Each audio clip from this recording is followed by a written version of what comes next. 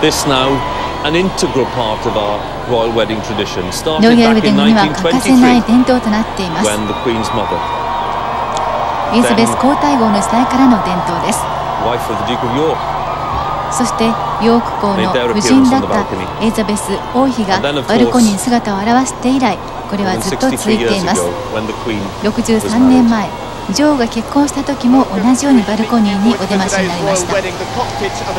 現在66年前のランカスターという戦闘機の国旗の中に来ています、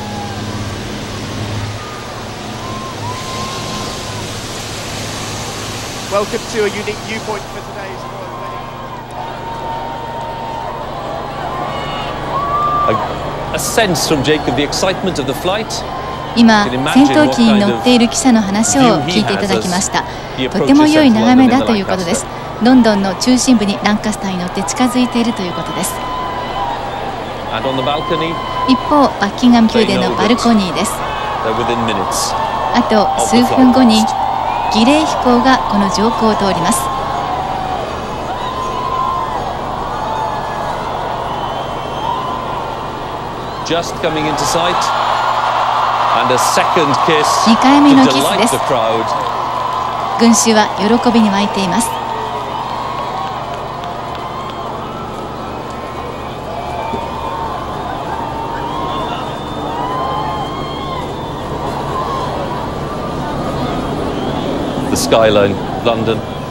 ロンドンの上空です。バトルブリテンメモリアフライト飛行隊です。スピットファイアとハリケーンがついています。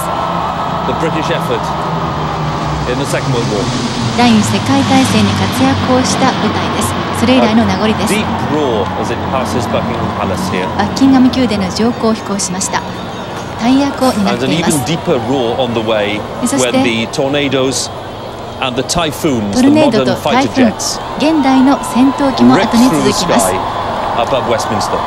ウェストミンスターの上空を飛行していきます。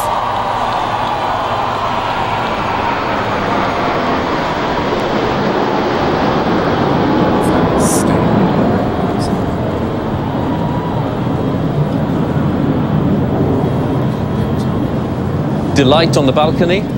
バルコニーは喜びに沸いています。この儀礼飛行で昔の戦闘機と現代の戦闘機が参加をしました。バトル・オブ・ブリテに参加をした飛行機もあります。第二次世界大戦中イギリス王室のメンバーはロンドンにとどまっていたのです。BBC の記者がこの戦闘機の一機に乗っています。大変に飛行を楽しんだようですね。後ほどこの木さんには話を聞きましょう。この儀礼法の印象を聞いてみたいと思います。女王はバルコニーのお出ましはもう終わりと判断したようです。この後もお二人がまた出てくるかもしれませんが。一旦中に入ると思われますがまた出てくるかもしれません。今はお二人だけでバルコニーに立っています。多くの人が熱気に湧いていることを承知しているのでしょう。多くの人が集まっています。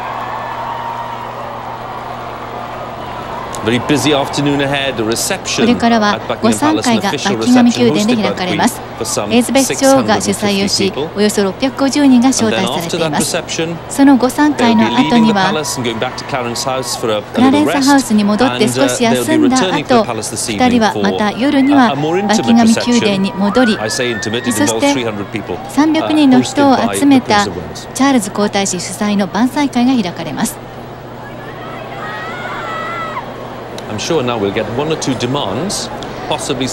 集まった群衆からは2人にもう一度バルコニーに出てほしいという声が上がりそうです。これだけの人が集まっているわけですからバルコニーにもう一度出てこないことはないでしょう。とても珍しい帽子をかぶっている人もいますね。今日のために作ったんでしょう。よく見えるところにみんな人が集まっています。